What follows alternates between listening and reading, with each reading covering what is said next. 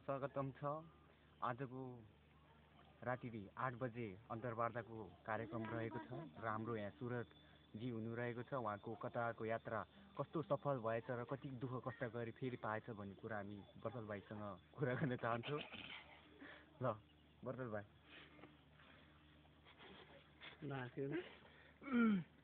सर्वप्रथम त हजुरलाई नमस्ते होइन? यस यहाँ उपस्थित हुनुभएका मेरा मित्रजन र साथीभाइ सङ्गिनी बुवाआमा तथा दिदीबहिनी यो हरियालीलाई मेरो सर्वप्रथम त दुई शब्द बोल्न दिनुभयो भने न नमस्ते टोक्राउन चाहन्छु होइन? अनि सोध्नु क्वेसन। अनि तपाईँको यात्रा चाहिँ कस्तो भयो त सुरुमा जाने बित्तिकै? हेरोडदेखि भनौँ कि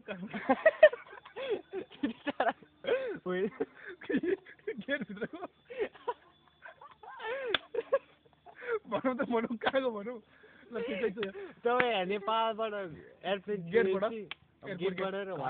भइहाल्यो नि घरबाटको घरबाटै। घरबाटको यात्रा सुरु सुरु गरौँ हाम्रो क्यामेरामा यहाँबाट- गइयो स्कुलनिर।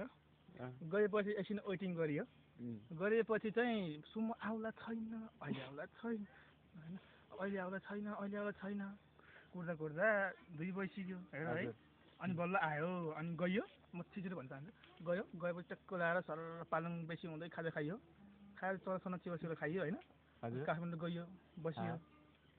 अनि त्यहाँबाट टिकट दियो। दिएपछि खाजा साजा सब व्यवस्था हुन्छ। भाइ केही लानु पर्दैन अरे। अनि त्यहाँबाट होला छोरी भन्न गइयो। सामान पनि लगेज पनि बाह्र किलो पन्ध्र किलो हुन्छ भने हामीले झ्याप बिस किलो जाएको थियो। छैन लास्टमा त त्यो गुवामा गएर टिकटमा हेऱ्यो। छैन बा दस किलोभन्दा हुँदैन अरे। अँ त्यसबाट अनि त्यो टाकटुक गरेर चट्ट प्लेनमा गइयो। गइयो। गएपछि आफै प्लेनको त घरभन्दा ठुलो छ पो बर्याङ। एकछिन त मनमा भयो सर्याङ मर्याङ हजुर टक टक टक टक चढियो हजुर अगाडि गएर बस्ने होला भन्ने ठानेको त पछाडिको त धेरै पछाडि नभनौँ मिडियम साइजको पनि नभनौँ मिडियम साइजभन्दा हल्का यतापट्टि आइयो ठक्क अनि बस्यो हजुरलाई प्लेन चढ्दा बमिट आयो कि आएन अँ त्यो चाहिँ आएन नभनौँ आ आएन आएन अनि त्यहाँबाट बसियो बसेपछि अनि त्यहाँबाट स्टार्ट भयो फ्यानको त्यो पङ्खामा पनि हावा आयो है